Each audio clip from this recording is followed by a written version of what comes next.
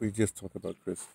Yeah. So you met him first met him in in, in 1990, 90 years. and uh, it, well, he he was in charge of you. What, what was what, how did you what, what was what was the relationship? You see, as I was a, a, member of the Youth League, Okay, you okay. yes, he was organizing the young people Hmm. uh, to join the underground structures of Mkhonto we Sizwe. okay. Yes, that's where I met him. Hmm. Uh, uh, he was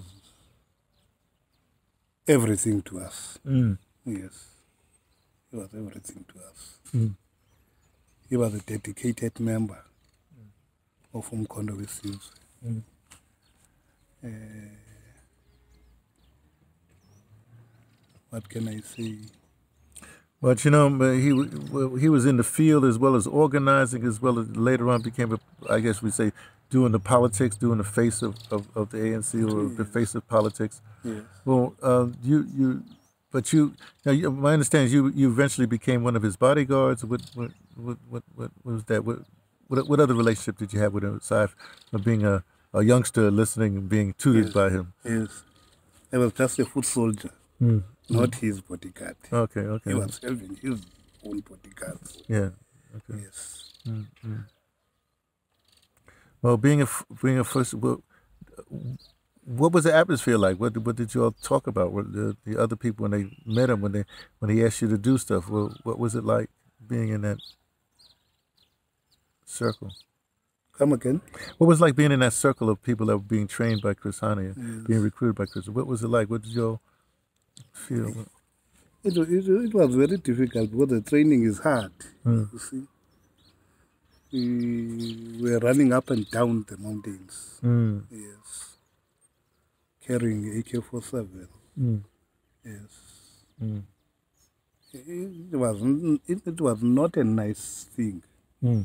Yes, But this was like 1990, so you you it, the, the I guess I don't say things were intensifying, or were they were they what we call de-escalating? Were they getting more intense? no, armed struggle was already suspended Uh, in that time, but uh, there were operations mm, because uh, uh, the apartheid government uh, was continuing.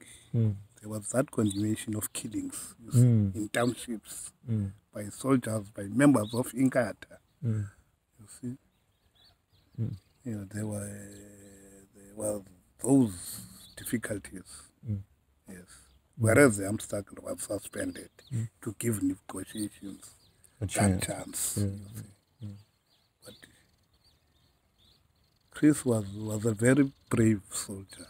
Mm. Yes, was a very brave soldier. Okay, so so let's let's end this, but but just asking.